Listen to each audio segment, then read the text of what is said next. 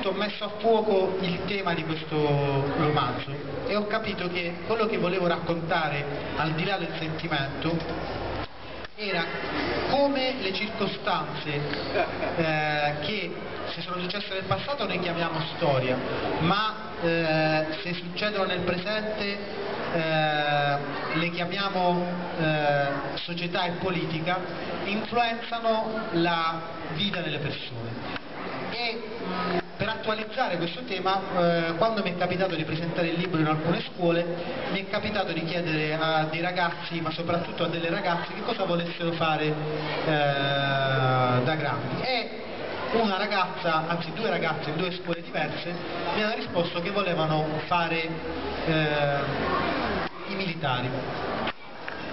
E allora, ecco, per, per spiegare il tema, diceva a loro, vedi, cioè, ecco che cosa voglio raccontare io nel libro. Se tu fossi nata, per esempio, 20-25 anni fa, ora non mi ricordo quando è che è uscita la legge per cui anche le donne potevano entrare nelle forze militari, tu vuoi fare militare da grande? No, io voglio fare la scrittrice, quindi non, non puoi cambiare idea. Eh, l'ho detto prima. Vuoi parlare pure tu? Abbiamo un altro ospite.